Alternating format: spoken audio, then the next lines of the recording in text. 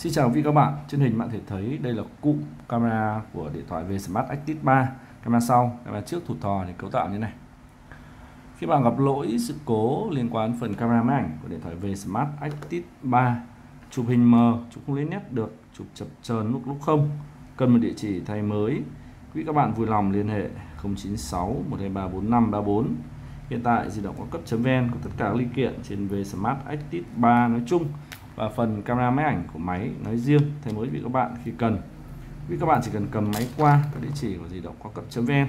chúng tôi tiến hành thay mới vị các bạn, nhanh chóng, an toàn và tiện lợi.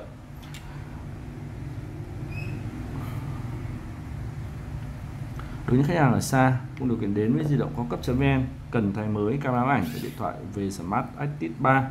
quý các bạn vui lòng liên hệ 096 123 4534 chúng tôi sẽ tư vấn hướng dẫn cụ thể với các bạn à,